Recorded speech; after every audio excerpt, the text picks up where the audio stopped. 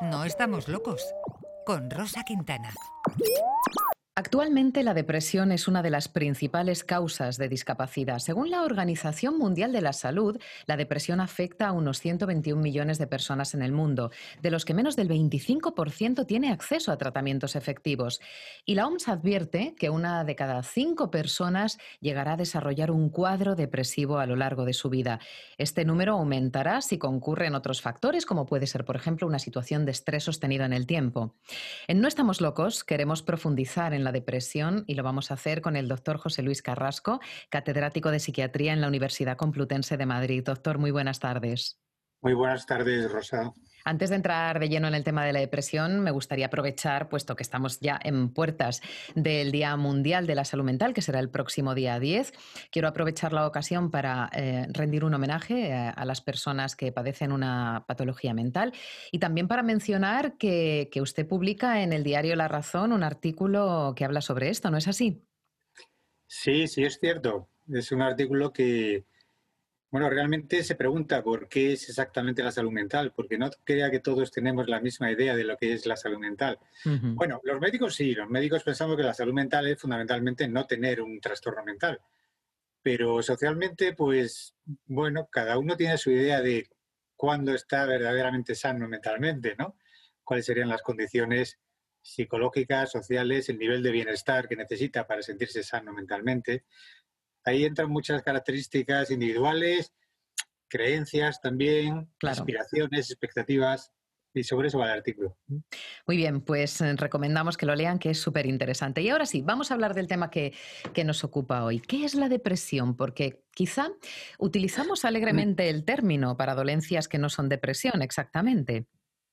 Sin duda alguna, utilizamos la depresión como un término que no fuera una enfermedad, como una especie de cualidad del estado de ánimo o, de cómo se encuentra uno en su vida emocional normal. Realmente la depresión es una enfermedad, es un trastorno, es decir, algo que se ha trastornado y que necesita arreglarse.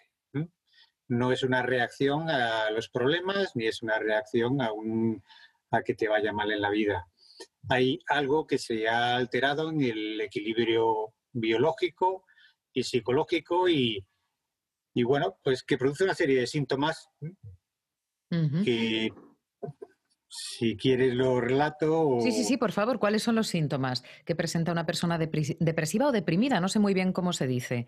Deprimida. Deprimida. Deprimida, porque eso es importante que lo hayas dicho, Rosa, porque la depresión no es una forma de ser, es algo que te ocurre. O sea, uno no es depresivo, ¿eh? sino que está deprimido en algún momento. Y en la depresión en ese momento en el que hay una alteración, lo que la persona siente fundamentalmente es un decaimiento del estado de ánimo, una falta de ilusión y con una especie de pesadez de toda la mente y del cuerpo, mm, falta de ganas de hacer nada y luego ideas negativas que se van metiendo en la cabeza de que todo va a salir mal, de que, mm, de que no voy a ser capaz de salir adelante o incluso de que ideas de culpa o de autorreproche de que quizás si hubiera hecho, hecho las cosas de otra manera. En global es un estado de ánimo cualitativamente anormal, no es un estado de tristeza, de como uno cuando, cuando uno está triste porque ha perdido a una persona o ha perdido a una pareja o algo así, es cualitativamente diferente, afecta a todo el cuerpo.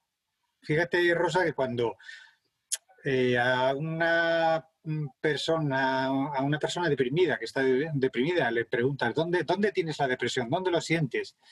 No va a decir aquí en la cabeza, es como, es todo el cuerpo lo que está deprimido, ¿no? Es, entonces es una enfermedad corporal que tiene muchos síntomas mentales, la tristeza, el, la sensación que todo va a ir mal, pero fundamental la falta de energía y el decaimiento. ¿Y qué es lo que causa una depresión? ¿Qué provoca una depresión? Bueno, como muchas otras enfermedades en medicina, hay lo que se llama una causa inmediata, que es aquello que al final ha hecho que se desborde la situación y que se produzca la alteración. Y hay unas causas anteriores que serían las causas dispositivas, que es la predisposición, la vulnerabilidad.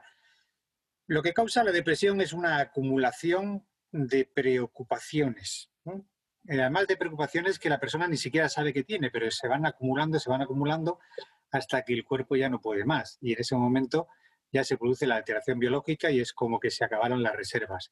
Pero esto ocurre más en personas predispuestas a ello. Predispuestas que además suelen tener un carácter más sensible, más preocupadizo, más autoexigente.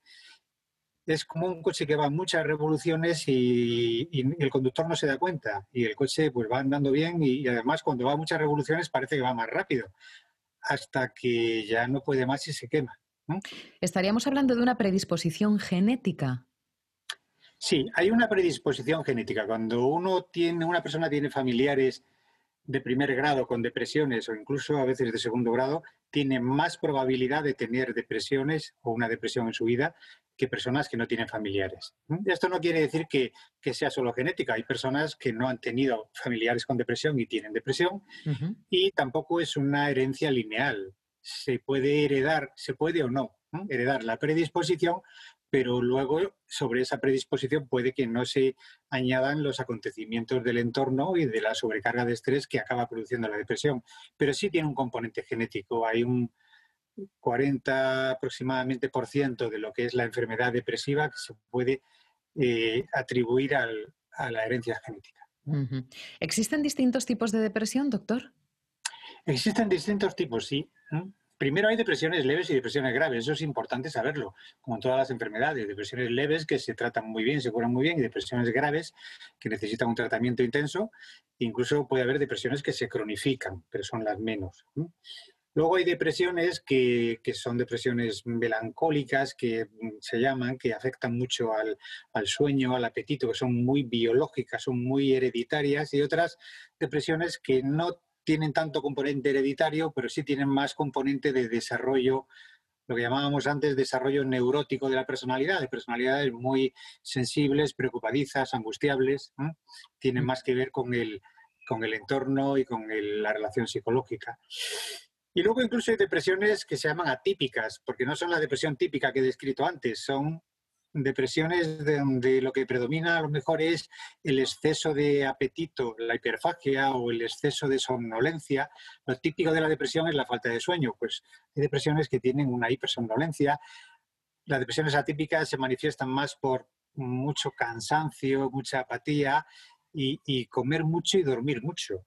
Y a veces estas depresiones pues quedan como muy enmascaradas. Pero sí que ahí está la depresión juvenil. La depresión juvenil eh, tiene mucha importancia lo atípica que es, porque no se suele manifestar por tristeza y decaimiento, sino por irritabilidad y mal humor. El adolescente tiene muchos problemas para la expresión emocional y le cuesta mucho decir me encuentro mal, me encuentro triste, me encuentro eh, débil y creo que todo me va a salir mal. Entonces tiende a manifestar enfado, distanciamiento y son muy difíciles de detectar. Esto es importante epidemiológicamente porque es fundamental para la prevención de desarrollos anómalos de la personalidad, detectar la depresión adolescente. Y en los ancianos, pues también a veces se manifiesta más por agitación, por nerviosismo. Sí que tiene diferentes caras la depresión. Tiene la típica, pero luego están las caras atípicas, que son las culpables de que muchas de ellas no se diagnostiquen, como bien has dicho, y de que muchas de ellas no se traten. Y me viene a la cabeza la depresión posparto. La depresión postparto, que se me ha olvidado, me tendrían que haber suspendido en el examen si yo fuera mi profesor. la depresión postparto es una depresión que también puede ser más leve o grave, incluso con síntomas psicóticos y que hay que tener muy presente, sobre todo en las personas, en las mujeres que han tenido antecedentes depresivos antes del parto y en muchas mujeres que no han tenido ningún antecedente depresivo y que es un fenómeno muy biológico, muy ligado al movimiento de la hormonal que se produce en los alrededores del, final del embarazo y con el parto. Entiendo entonces que eh, hombres y mujeres vivimos la depresión de distinta forma. La vivimos de distinta forma, eh, o sea, con distintos matices. Cada vez menos porque culturalmente el hombre y la mujer van teniendo un rol cada vez más parecido, poco a poco, ¿no? Pero hace no muchos años la mujer tenía muy pocas posibilidades de salir de su estado depresivo mediante la actividad, la acción, la búsqueda de cosas, el, aumento de su autoestima y el hombre tenía más posibilidades, por lo menos, de estar en la calle, de relacionarse y de, y de digamos, encerrarse en el trabajo. Entonces, mm, eh, culturalmente cada vez va habiendo menos diferencias. Lo que pasa es que biológicamente la mujer tiene más capacidad de expresión emocional y eso sigue siendo así. Las mujeres expresan más emocional y verbalmente su estar mal. Son más capaces de ello y por tanto se detecta antes.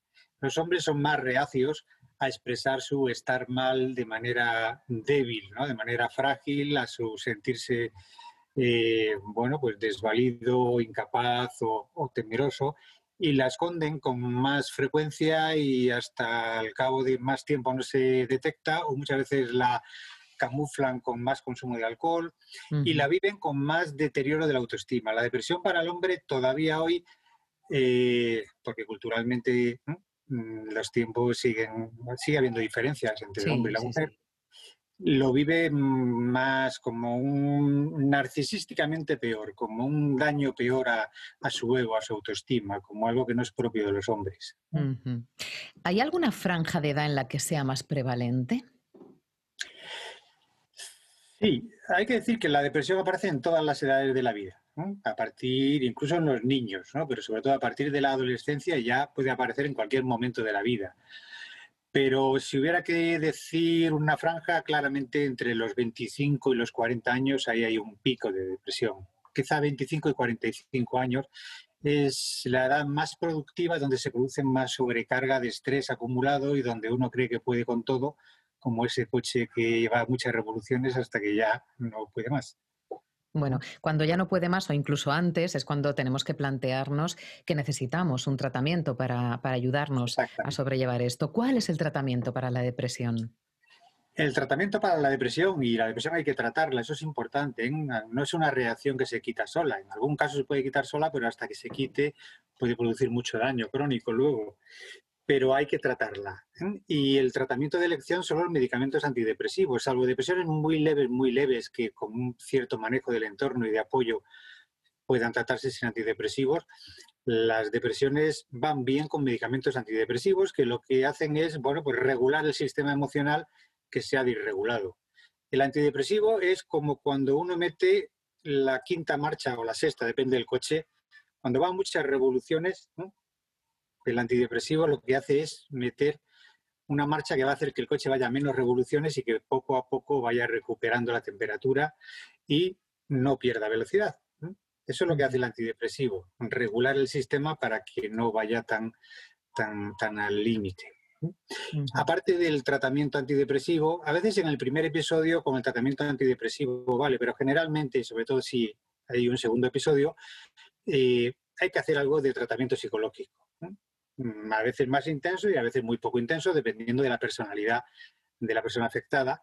Pero bueno, sí intentando mm, algo así como enseñarle a conducir mejor, a llevar mejor el estrés, a mm. manejar mejor o a gestionar, como se dice ahora, mejor el estrés.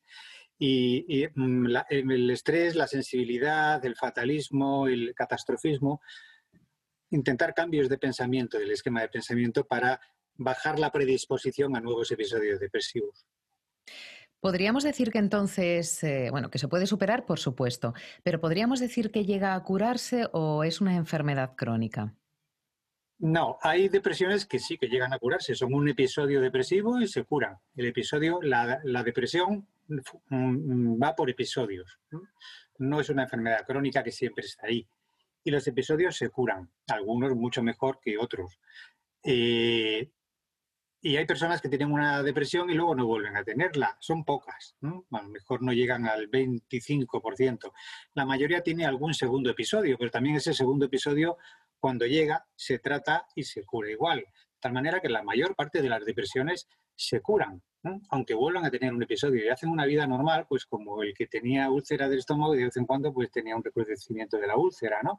Esto es importante que se sepa, que no es una espada de Damocles. La persona con una depresión con un tratamiento hace una vida normal y cuando tiene un episodio, tiene un bajón y se trata bien. Luego algunas depresiones, las más graves o las que están complicadas con consumo de alcohol o con trastornos de la personalidad, ya se pueden cronificar y sí que se pueden hacer crónicas y se curan, pero se curan parcialmente y necesitan siempre un poco de atención y el funcionamiento no llega a ser nunca íntegro del todo, como suele ocurrir en la mayoría de las depresiones, que se reintegran normalmente a la, al funcionamiento. Esas depresiones crónicas, pues sí que necesitan tratamiento continuado y, apoyo terapéutico como una enfermedad crónica. Pero no es lo común, es muy importante cuando... Por esto pasa muchas veces. A veces una persona tiene una depresión por primera vez y le dice, te voy a dar unos medicamentos y dice, ay, no, que eso es lo que tomaba mi tía, abuela, que estuvo toda la vida con tal. Eso es importante de mm, separar lo que es una depresión leve de una depresión grave crónica. Igual que es importante separar una bronquitis leve de un cáncer de pulmón, ¿no? Efectivamente. En cualquier caso, siempre debemos consultar a, los profesionales, tenemos que consultarles a ustedes y tenemos que ponernos en sus manos para tener una buena salud mental y física y, si me apura, hasta espiritual. Muchísimas gracias, doctor José Luis Carrasco. Nos vemos dentro de dos semanas en No Estamos Locos. A ti, Rosa, gracias. Gracias, buenas tardes. Ya sabéis que nuestra intención con este programa es eh, normalizar la situación de las personas que padecen una enfermedad mental, porque mm, nadie está libre.